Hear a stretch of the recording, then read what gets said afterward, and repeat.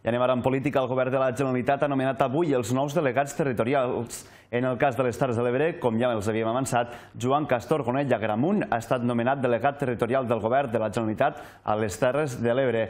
Joan Castor Gonell és nascut a Sant Jaume d'Enveja l'any 1968. Diputat a la Diputació de Tarragona des de l'any 2019, actualment ara és el responsable de l'àrea de persones i talent. Ha estat l'alcalde de Sant Jaume d'Enveja des de l'any 2003 fins l'any 2023. També va ser conseller del Consell Comarcal del Montsià des del 2003 fins al 2019, presidint l'ENS des del 2009 fins al 2011.